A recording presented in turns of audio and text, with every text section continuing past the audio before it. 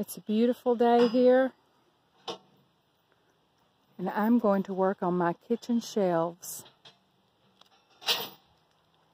I have some barnwood that was here on the property when I bought it.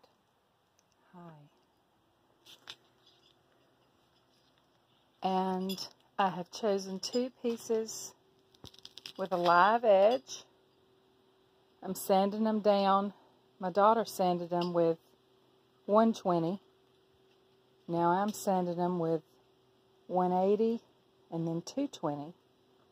I'm only doing the tops with 220, but I'll do it all over with 180 because if you're sitting down at the dining room table, you'll be able to see the top of the kitchen shelves. So I love the grain of the wood. I think I'm going to wash it a tiny bit darker just so it will match a little better with my walnut countertops. And then I'm going to cut some corbels and hang it. Stay tuned. Pretty smooth.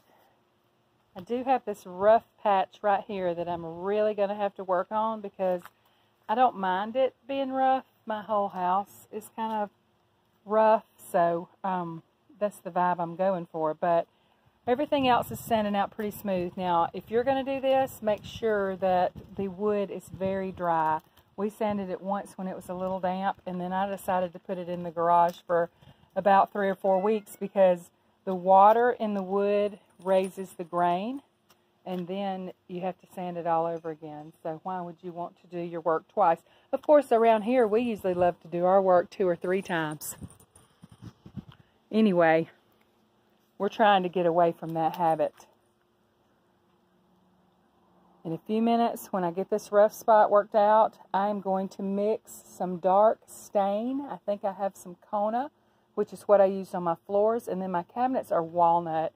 So they're dark anyway. So I'm going to mix some dark stain and then I am going to um, dilute it with a lot of water and I'm going to wipe it on quickly and wipe it off just so it blends with the wood that I already have in my house.